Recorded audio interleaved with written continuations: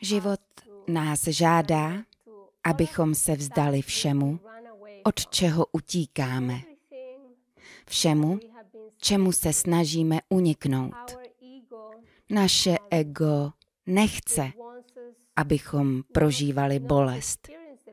Takže odstrkuje pryč vše, co vyvolává příliš nepříjemné pocity.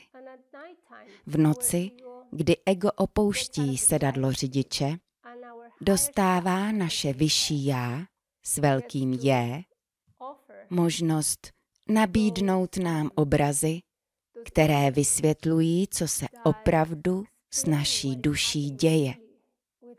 Pokud každou noc vidíme sami sebe, jak běžíme, snažíme se uniknout nebo zažíváme nepříjemné situace, je to vodítko, na co je třeba se zaměřit.